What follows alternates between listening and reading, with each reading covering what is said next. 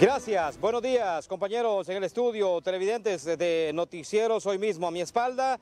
Mire cómo se está viniendo todo el cerro, se ha partido en dos, barrio La Cabaña acá en este sector y es que aquí han eh, pues construido unos eh, gaviones.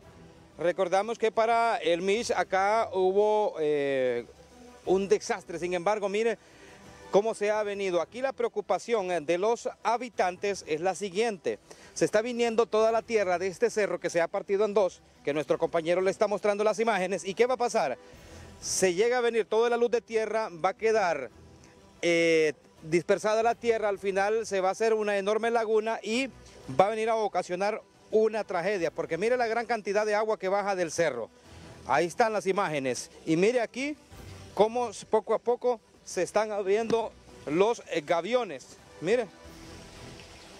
Al final esto se viene, va a obstaculizar eh, que, circule el agua y al final esto va a ocasionar tragedia. Aquí anteriormente ya habíamos venido. Sin embargo, hay preocupación por las mismas personas que viven en este sector. ¿Por qué? Porque no le han puesto atención al llamado que han hecho. Aquí, véngase madre, vamos a hablar con usted, porque ella me estaba diciendo esta cámara que usted no, véngase, usted no duerme.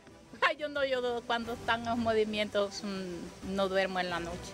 Sí, porque fue por el agua que se llega a venir. Óigame, ¿se está abriendo más el cerro? Se está abriendo más. Fue arriba. Sí, todo ah, Es que es, es cuando así, cuando llueve bastante. ¿Y han venido las autoridades? No, no, han venido aquí.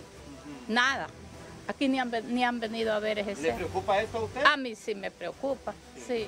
¿Cantidad de agua que está bajando? Mucha agua, sí, es verdad, mucha agua para las cajas de allí también. Sí. ¿Cuántos viven acá? Aquí solo vivo yo. ¿Solo de usted? Sí. ¿No duerme entonces? que voy a dormir con ese, con ese cerro encima. ¿Cuál es su nombre? Aida Flores. ¿Cuál Hágale llamado a las autoridades que vengan aquí. Sí, que vengan aquí a ver ese cerro, a ver si pueden arreglar algo. Sí. Va. O que vengan a poner un muro ahí para que no se venga la... Por lo menos, ¿verdad? Por lo menos, gracias. Gracias, madre. Bueno, mire, es que acá, ahorita sí, bueno, mire, mire, es que acá, venga, papito, mire la gran cantidad de agua que baja acá, de la parte de arriba, que es aquí. Aquí han hecho una especie de cuneta, sin embargo, lo que les preocupa a ellos es que necesitan que les vengan a arreglar estos gaviones porque se están abriendo y esto puede ocasionar una tragedia. Ojo a esto, aunque hoy, gracias a Dios, después de una semana, ha salido el sol.